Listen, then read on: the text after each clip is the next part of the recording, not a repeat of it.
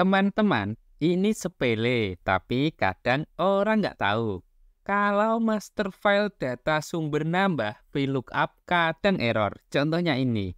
Ini file sumbernya, saya jadiin satu biar gampang. Ini saya tambah begini. Terus saya mau mencari strip 01. Ini siapa? Tuh, jadi NA. Padahal benar ada di sini.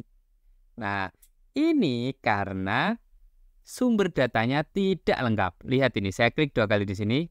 Ternyata tabel sumber datanya hanya sampai sini.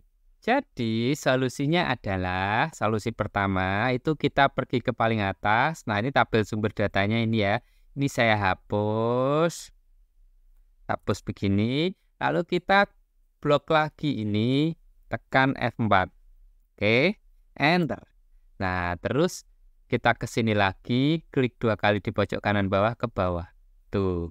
Tapi kalau kita gini terus, masa setiap nambah sumber data ngulang rumus VLOOKUP kapan pulang?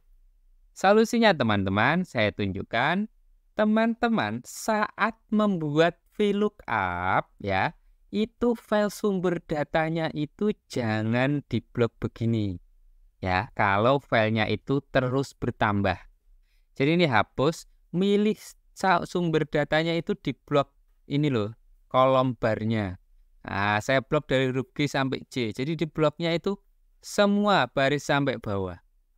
Nah, ini teman-teman F4 nggak F4 nggak apa-apa, bebas. Tapi kita pilih semua kolom, ya. Nah, terus Enter, oke. Nah, sekarang saya klik dua kali pindah ke bawah. Saya mau coba nambah baru. Ini saya tambah baru. Terus saya ketik di sini ya, coba strip 01. Tuh.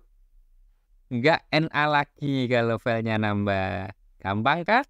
Biar makin jago, subscribe ya.